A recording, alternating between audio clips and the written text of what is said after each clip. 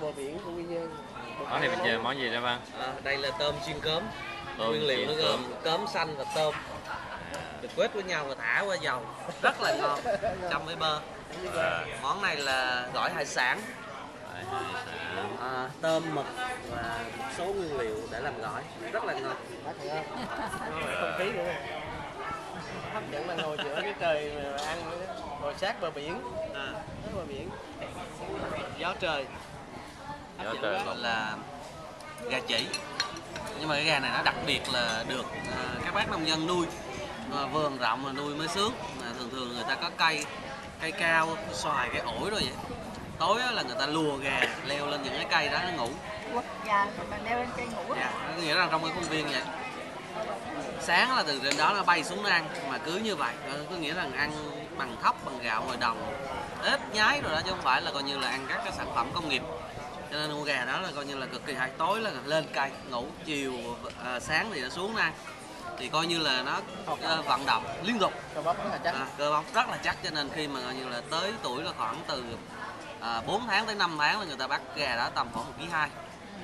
Từ một ký tới một ký hai. Con gà đó thì coi như từ gà mái gà cò gà gì nó cũng ngon. Không có bệnh dịch được gì hết. Và khi mà ăn gà gà đó cực kỳ dai là ở quy nhơn đó nó có nguyên cả một cái làng gọi là coi như là gà chỉ luôn.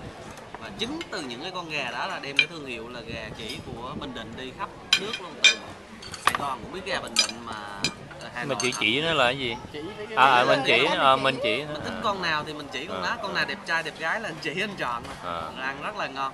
Tại cái đặc biệt là nó như vậy do là gà có tập thể dục. Mà cái lấy ra lấy ra làm món gì Ờ, món này thì nó có rất là nhiều món. Thứ nhất là gà chỉ hấp hành. Thì cũng làm xong rồi để người ta hấp và bỏ hành lên trên. Ở đặc biệt ở đây nó có cái món gọi là muối lá chanh rất là đặc biệt. Người ta trộn khoảng là ờ, uh, 80% muối bột ngọt cộng với 20% lá chanh. Người ta xoay ra. Khi mà đổ cái dung dịch muối lá chanh này ra thì nó xanh lơ ra như vậy nhưng mà chấm vô khi mà chấm miếng gà vô dùng lên là vừa nghe mùi lá chanh rất là thơm. Cái mặn của muối cái ngọt của bột ngọt và cái ngọt đặc biệt của gà cực kỳ ngon món gì nữa? nướng chiên gì? Cái món thứ hai á, là món gà chiên mắm. Thì nó cũng đơn giản thôi nhưng mà do cái nguyên liệu gà nó tương đối ngon cho nên khi mà chiên ra để trên dĩa rồi thì coi như là cứ bỏ vô miệng là nó giòn tan ra chị. Cái thứ ba là gà nướng.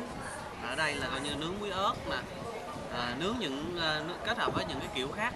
Thì cái nướng thì nó bình thường hơn nhưng mà đặc biệt có gà hấp hành với gà à, chiên mắm. Rất ngon. chiên hay quá. Cơm mực cơm chiên với ớt mực nướng với nướng chứ nướng cơm nướng nướng muối ớt mực cơm mà mực cơm là mực nhỏ. Nó có trứng rồi. À, vậy. Wow dần đảo không? Dạ, hấp dẫn lắm.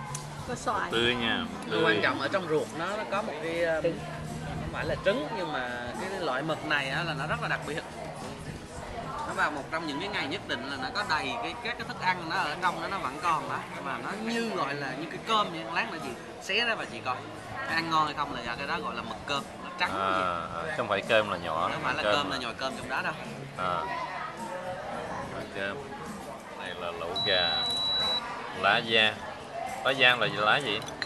Lá- là lá giang có chất chua giống như lá mê vậy nhưng mà À. được cái gọi là nó nấu ăn được ăn trộn vô như rau vậy loại rau của Việt Nam à, à mình nhớ bữa trước hôm trước nhớ cái lá giang này à.